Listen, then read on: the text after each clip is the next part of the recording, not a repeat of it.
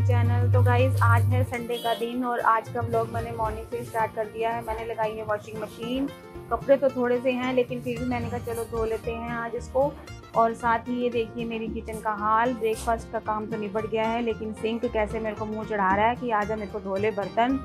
और ये देखिए, मेरी स्लैब का हाल एकदम मैसी हो जाती है कि बस पूछो मत।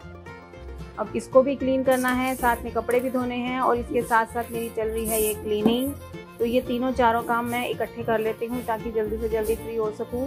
एक्चुअली संडे का दिन मेरा ऐसा होता है कि मुझे होता है कि आज आज मेरी मशीन पर लगनी ही लगनी है, क्योंकि संडे का दिन थोड़ा सा फ्री होता है। अब आप ये देखिए, मैं लगा रही हूँ पोछा।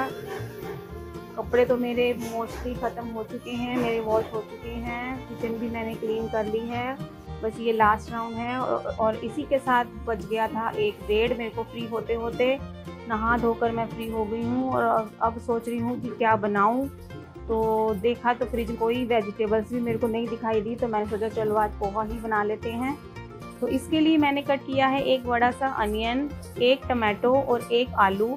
आप इसमें अपने हिसाब से वेजिटेबल्स डाल सकते हैं। इसमें अगर मटर हो तो मटर ज़्यादा अच्छे लगते हैं, लेकिन आज मटर भी नहीं थे घर में तो मैंने सोचा चलो आलू से ही काम चला लेते हैं। तो ये मैंने तीनों चीज़ें कट कर ली हैं। जल्दी से बन जाएगा। बच्चों को अच्छा भी लगता है और हेल्दी भी है और डाइजेस्ट भी अच्छी तरह हो जाता है। तो मैंने कहा, चलो, आज आज हम यही बना लेते हैं। तो मैंने कढ़ाई में घी डाला है, लेकिन मुझे लगा थोड़ा सा कम है तो मैंने इसमें थोड़ा सा मैं और ऐड करूँगी। और घी को जैसे ही गर्म होगा, अब इसमें डालने हैं मैंने अनियन और ये अपने पैकेट को मैं काट कर इसमें से पोहा निकालूँगी कि मुझे कितना बनाना है। एक्चुअली इस पोहे में ना एक पैकेट निकलता है मसाले का और उस मसाले से इस पोहे का टेस्ट इतना दुगना हो जाता है कि आप पूछिए मत। मुझे तो ये बहुत अच्छा लगता है पोहा। मैं, पहले मैं सिंपल वाला बनाती थी, लेकिन जब से मैंने इस पैकेट का बनाना शुरू किया तो मैं अब यही प्रेफर करती हूँ कि हमेशा मैं यही वाला पोहा बनाऊँ। तो ये मैं पोहे को निकाल रही हूँ और जितना बनाना है, उतनी क्वांटिटी लूँगी। और ये निकला है इसमें से पैकेट जो मैं इस पोहे में ऐड करूँगी। गैस को मैंने सिम कर दिया है क्योंकि तेल हो चुका है गरम। अब इस पोहे को मुझे वॉश करना है।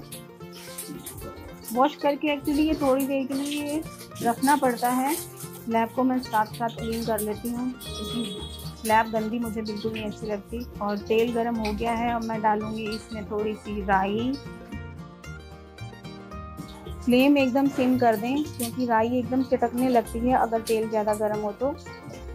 आप इसमें तेल डालें या घी डालें, जो भी आप प्रेफर करते हैं, डाल सकते हैं। मैंने तेल का यूज़ किया है। अब थोड़ी सी हम राई को सौटे करेंगे। और इसमें ऐड करूँगी मैं ये कटा हुआ अनियन।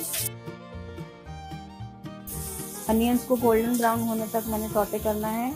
ज़्यादा गोल्डन नहीं करना ठीक ठीक हो, बस कलर चेंज हो जाए उसका। फ्लेम को सिम कर दें, क्योंकि तेज फ्लेम पर प्याज सड़ने का डर रहता है।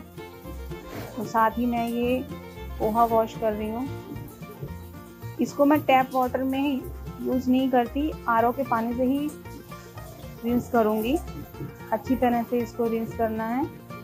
अब ये जो पानी है नीचे, इसको फेंक कर पोहे को हम ऐसे ही रख देंगे थोड़ी देर के लिए, जब तक हमारा मिक्सचर तैयार होता है, हमारा पोहा भी रेडी हो जाएगा। अनियंस भुन चुके हैं, उनकी स्मेल अच्छी आनी स्टार्ट हो गई है। अब मैं ऐड करूँगी इसमें टमाटोज टमाटोज को हल्का सा फ्राई करूँगी, ताकि हल्के से थोड़े थोड़े मैश हो जाएँ। और साथ ही मैं इसमें ऐड करूँगी पटैटो जो मैंने पहले ही काट के रखा हुआ है। अब इन तीनों को एक मिक्स देंगे अच्छे से। इन्हें भूनते हुए मेरे एक से दो मिनट हो गए हैं। एक्चुअली मैं अब डालूँगी थोड़ा करी लीव मैं मैं पहले डालना भूल गई थी, लेकिन आप थोड़ा पहले डाल दे तो ज़्यादा बेटर रहेगा। लेकिन आज मैंने थोड़ा स्किप कर दिया तो मैंने अब ऐड कर दिया है। साथ ही मैं डालूँगी हल्की सी काली मिर्च।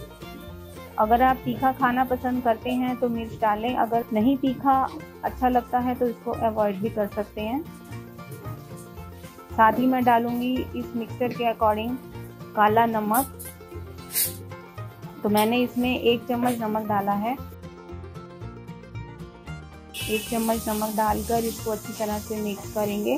और साथ ही मैं ऐड करूँगी ये जो इसमें से पैकेट निकला है मसाले का, ये वाला पैकेट मैं अब इसमें सारा ऐड कर दूँगी।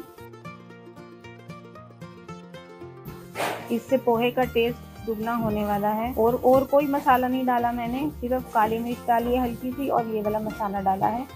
अब इसको मैं फ्लेम एकदम सिम करके थोड़ी देर के लिए ढक कर छोड़ दूँगी ताकि आलू अच्छी तरह से पक जाएँ। पाँच मिनट के लगभग हो गया है, अब मैं चेक करूँगी कि आलू मेरे गले हैं कि नहीं।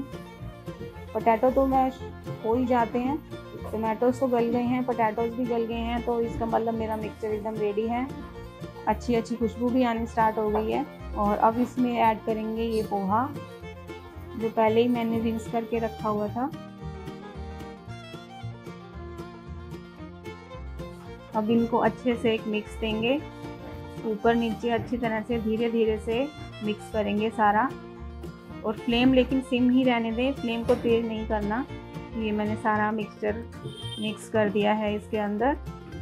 और ये देखिए कितना प्यारा कलर आया है। पोहा मेरे घर में सारे खुश होके खाते हैं, बच्चे से लेके बड़े तक। वैसे तो मैंने सोचा था कि कोई सब्ज़ी बनाऊँगी, लेकिन चलो आज कोई सब्ज़ी नहीं थी तो मैंने सोचा चलो आज यही ट्राई कर लेते हैं। तो इसके साथ ही डालूँगी मैं थोड़े से आमंड्स आप इसमें पीनट्स भी डाल सकते हैं, लेकिन आज पीनट्स नहीं थे तो मैंने आज आमंड से ही काम चला लिया ये पोहा बनकर बिल्कुल रेडी है। गर्मा गर्म इसको खाएँ। इसका टेस्ट ही अलग होता है इस पोहे का। तो मैं तो खा रही हूँ भाई पोहा, मेरे को तो भूख लग रही है बड़े ज़ोर की। तो आइए आप भी खा लीजिए। आ जाइए आप भी मेरे साथ बैठिए और खाइए। गर्मा गर्म पोहा झटपट से बनने वाला इजी एंड क्विक रेसिपी है और ये मैंने साथ में बना ली है चाय और साथ में थोड़ा सा फ़ोन चला रही हूँ क्योंकि सुबह से मैंने अपने फ़ोन को देखा तक नहीं था। अब मैं देखूँगी कि क्या मैसेजेस हैं, क्या हैं। Hello everyone welcome back to my channel guys आप सब कैसे हैं? आई होप आप सब बहुत अच्छे होंगे। तो आज का व्लॉग मैंने सुबह मॉर्निंग से ही स्टार्ट कर दिया था। एक्चुअली मुझे लगानी थी वॉशिंग मशीन और जिस दिन वॉशिंग मशीन लगानी हो, उस दिन तो बस पूछो मत। एक के बाद एक काम इतना बढ़ता जाता है कि बस सारा दिन काम ख़त्म होने का टाइम ही नहीं लगता।